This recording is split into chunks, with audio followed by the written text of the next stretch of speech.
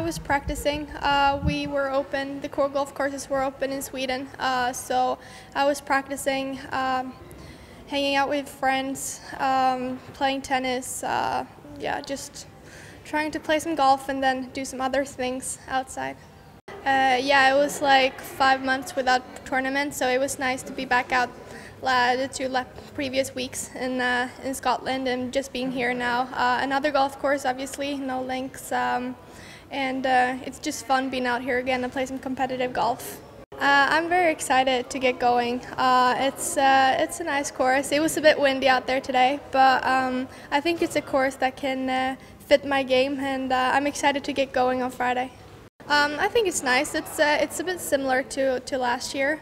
Uh, it's a bit hilly. Um, the greens are quite soft for the moment, so it's it's if you can just attack the pin and uh, roll in some putts, I think uh, you can shoot some low scores. Um, so I think it's a, it will be an interesting and fun week.